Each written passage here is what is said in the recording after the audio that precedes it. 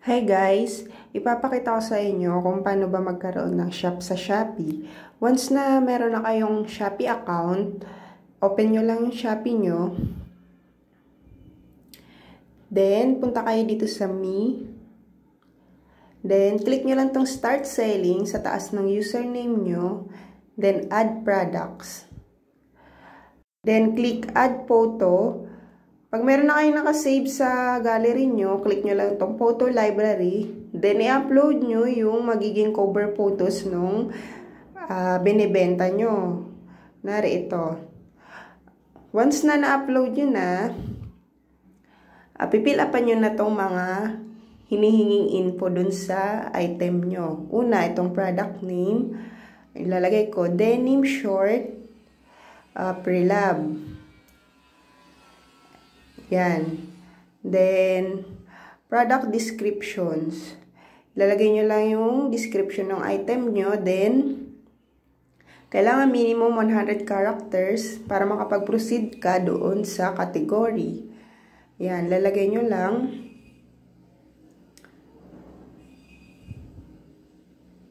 Then, after nyong malagyan ng description, punta na tayo sa category. Yan, pipiliin nyo lang kung saan belong yung binibenta nyo. Then, punta naman tayo sa brand. Uh, no brand. Next is material. Denim.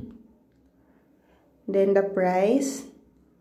Lagay nyo yung price ng product nyo. Example, 50 pesos. Then, stock. Kung ilan yung stock ng product nyo. Example, 50 din. Punta naman tayo sa variations. Ayan. Click nyo lang tong edit. Ito, yan. Tanggalin nyo. Kayo nang bahala kung ano yung ilalagay nyo. Yan, edit. Tatanggalin ko tong color. Ilalagay ko yung size. Yan. Then, kiklik ko tong mga nakabox. Papalitan ko ng 25. Yun yung size nung short. Then, click ko din to. Palitan ko ng 26. Mag-add pa ako. Yan. 27. Depende yun guys ha, sa mga bin, sa binibenta nyo.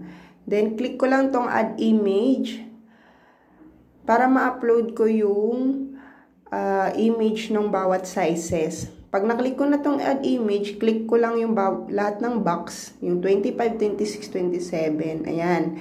Then, click ko tong may add photo. Ayan. I-upload mo yung shorts na size 25. Example lang yan na upload tayo ng short. Ayan. Then, sa size 26 naman.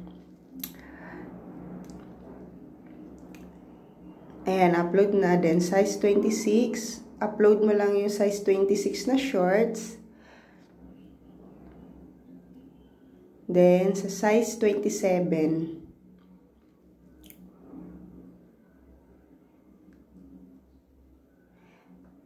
Ayan. Then, after nyong ma-upload, uh, click nyo lang tong next dito sa baba. Ayan, next, set stock and price click. Then, bawat sizes, lagyan nyo nung price. Kunwari, 50. Then, ilan yung stock nung size 25 na shorts. Yan. Kunwari, itong 26, 50 din. Yung stock niya is, lagyan natin 20. Size 27, 50. Then, the stocks is 10. Yun. Depende yun sa binibenta nyo, guys. Then, save. Then, after that, uh, punta na tayo sa shipping fee. Yung denim ko denim kasi medyo mabigat kaya ang nilalagay ko is 0.5 kg. Make sure guys na uh, sakto or pasobrahan nyo yung ano nyo, uh, weight nyo para hindi kayo mag-abono sa shipping fee. Then, activate nyo lang tong mga courier na available sa shop mo. If ever pala guys na kunwari, GoGo Express lang yung nasa shop mo, gusto mo magkaroon ng JNT, chat nyo lang si Shopee sa customer service para mag-request kayo kung gusto nyo magpa-add ng JNT, kung available dun sa lugar nyo. Then, ayan, condition, use. Then, kapag na okay na, pwede nyo na siyang i-publish.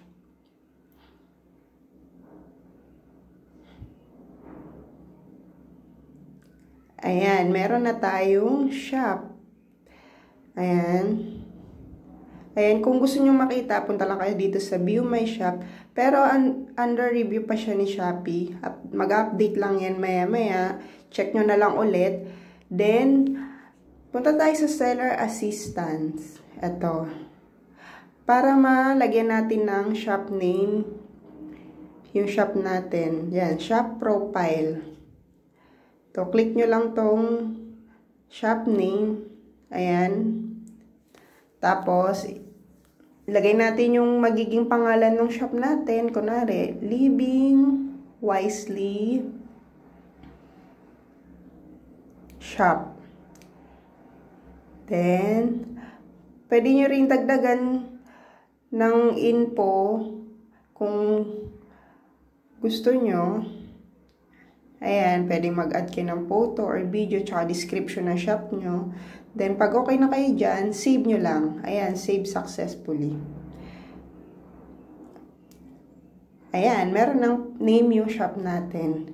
Then, uh, maya-maya, check nyo na lang if na na-post na ni Shopee yung uh, product nyo.